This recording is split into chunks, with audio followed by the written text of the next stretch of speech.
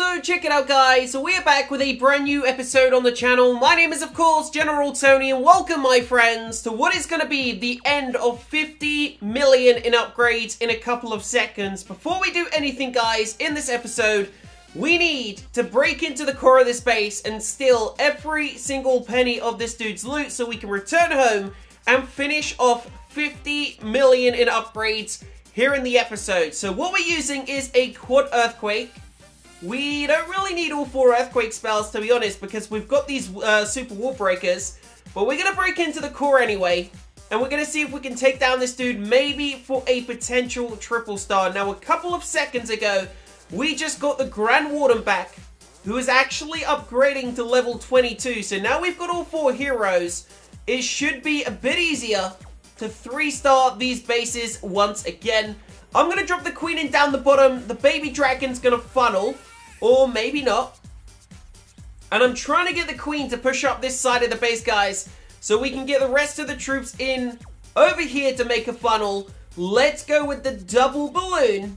Try to take down the archer tower and we'll see where we go from there, guys. Here we go. Queen is heading down the right way. Now, just as this is going on, I do want to remind you all, I will be giving away some gold passes later on today here on the YouTube channel. So make sure you are subscribing. And remember, every 1,500 likes the video gets, guys, I will give away an extra gold pass in the next episode. So let's rock and roll. We're ready to rumble straight into the center of the base. I'm to go with the Warden. Drop down those max Yetis, guys. Now, I think we need about 750,000 gold. If we can get that much gold, it means we're going to be able to do the upgrade, guys. And we will be able to complete 50 million in upgrades here in the episode, which is absolutely amazing. I'm going to go with a Royal Champion shield right at the top. And we're going to now crush the core of this base with, of course, the rest of our troops, the King, the Yetis, everything storming into the center. Can we take out the majority of these gold storages? Let's find out, guys. We've got ourselves the first star. I don't think we're going to be getting a second star. And it looks like we're only going to be getting about half the gold. So I'm not sure if that's actually going to be enough to do this major, major upgrade, guys. The Queen is going to swing around the top. The Warden's going to take out the Clan Castle.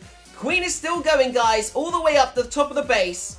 Obviously, she did end up going the wrong way, which kind of sucks because that means we weren't able to take down those gold storages in the center.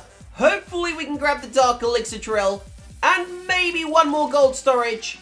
But it looks like it's the end of the road, guys. We're running out of time anyway. Let's end the raid there and see what we got. Okay, 455,000 gold. Unfortunately, I don't actually think that's enough, guys, because we need 10.8 million gold. And we've only got 10.448 million, so we're a tiny bit short. We're going to need to get ourselves into another live attack.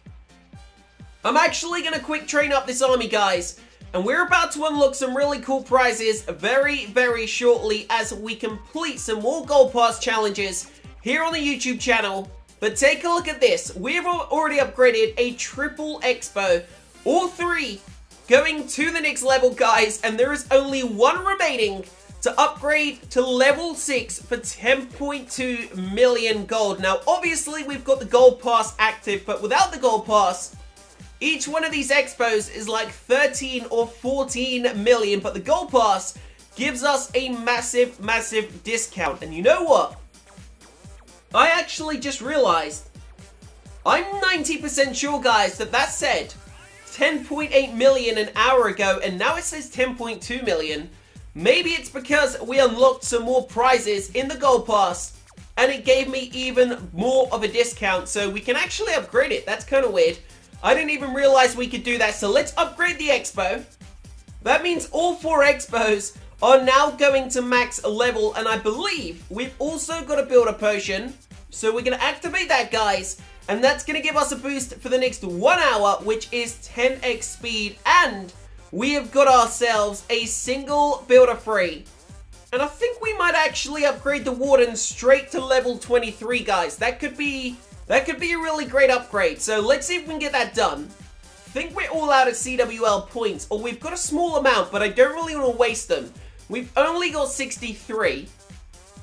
Now, I could buy some more Builder Potions, or I could buy 10 Wall Rings, but I'm not sure, guys. Let me know down below in that comment section, what should I spend my CWL points on? For now, what we're going to do, we're straight up going to get ourselves into the next live attack. I'm just going to wait like 20 seconds so I can reboost all my heroes, guys, and then we are going to gem up the entire army. I just boosted the actual Super Wall Breakers for another 7 days, so that means I don't need to spend any Dark Elixir and we can save all the Dark Elixir to upgrade the King, Queen, and of course that Royal Champion to max level over the next week, which is awesome. So, one second left until the boost ends. Let's reboost everything inside of the base, including the Grand Warden, who has only just returned, and we're also going to reboost the barracks. And I think the spell factories have got a boost for another 15 minutes. So they're going to keep themselves clocking over. We're going to re-gem the heroes.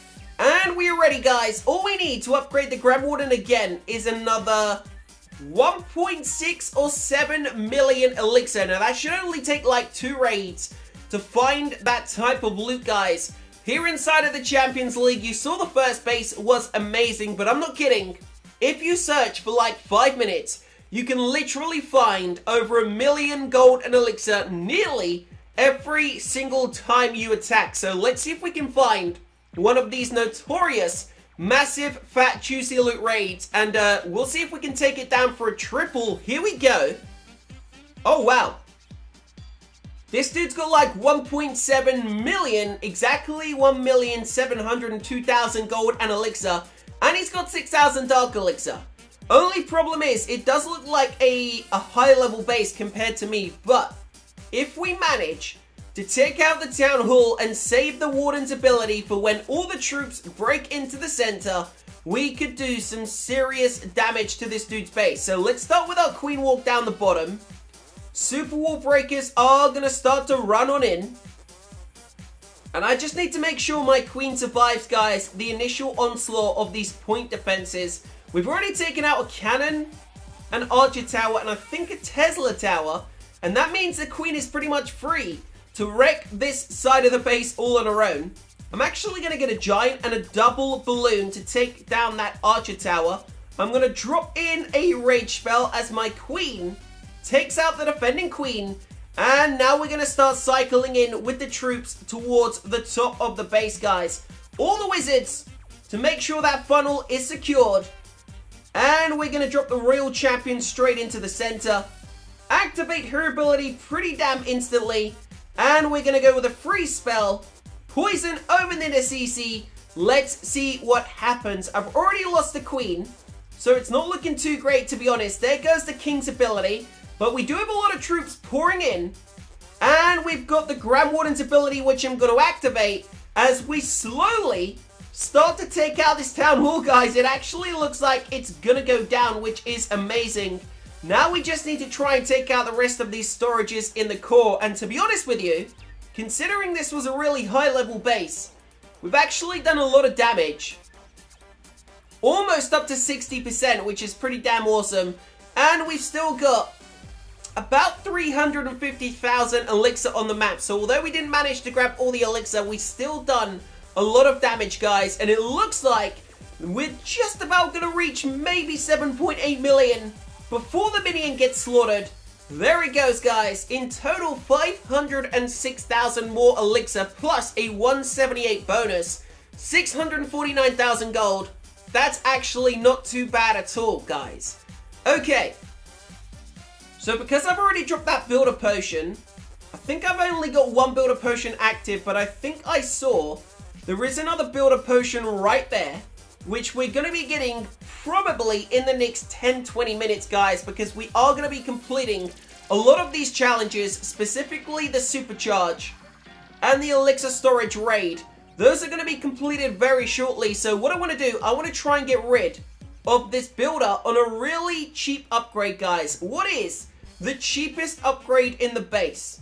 Let's see, what about these? Upgrade to level 2 for 637,000. Oh no, wait, that's only 63,750 gold, so that's really cheap. Let's upgrade that, guys. Five hours on the upgrade, four X-Bows, going to the next level, one little bomb.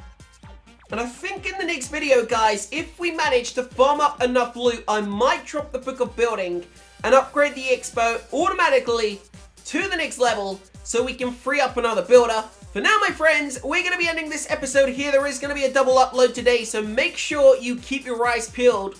Turn on those notifications. First come, first serve to win the gold passes I will be giving away later on today.